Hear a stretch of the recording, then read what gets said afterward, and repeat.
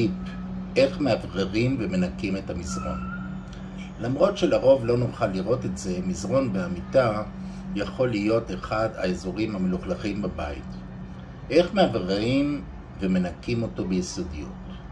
במהלך הלילה האדם הממוצע מפריש כ-250 מיליגרם זהה, ובשילוב עם אבק ובלאי טבעי המזרון מתלכלך מפעם לפעם. אז איך נשמור על מזרון נקי וללא ריחות לוואי? מזרונים איכותיים מגיעים לעיתים קרובות מרופדים בבדים עמידים ויהודיים שתוכננו להיות דוחי כתמים ולכן ישמרו על מראה נקי לאורך זמן. יכול להיות שנדרשת השקעה כספית נוספת במזרנים כאלה, אבל בטווח הארוך זו השקעה משתלמת, בייחוד אם אתם סובלים מאלרגיה לאבק.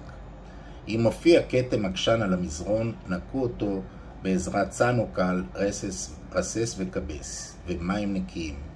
אחת לשבועיים מומלץ לשאוב היטב את המזרון, לפזר על כולו אבקת סודה לשתייה, להמתין חצי שעה ולשאוב שוב.